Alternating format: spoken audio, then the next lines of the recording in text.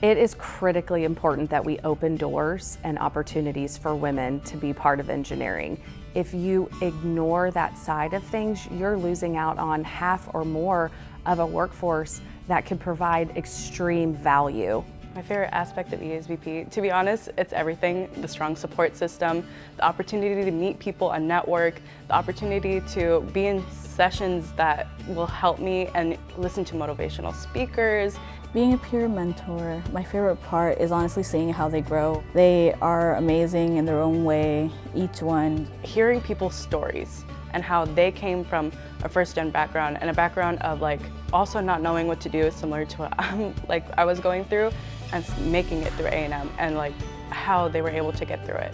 My favorite aspect of ESBP was definitely that it's an all-woman program because I was really scared coming into the College of Engineering knowing that it's male majority and I'm Hispanic and I'm a woman and it's first generation at that so it was really scary but knowing that I have a good support system with girls that I know I'll be friends with for a long time is really helpful. I wish I could tell Mr. Zachary just how appreciative I am of this program. Not only has he taught me core values and skills that I'm going to use for the rest of my life, but he's introduced me to some amazing peers and faculty. And going forward, I just know that all of the skills I've learned from this program will be put to good use.